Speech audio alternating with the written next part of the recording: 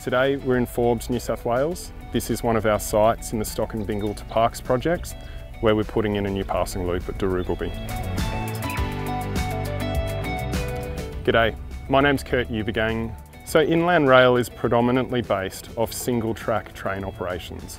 A crossing loop is a location on the main line where trains need to be able to pass each other. It will be a section of rail that sits adjacent or parallel to the main line that's connected to the main line on both ends. Now these connections are what we call turnouts and a turnout is a large mechanical switch that allows the train to either go straight along the main line or turn out onto the loop line.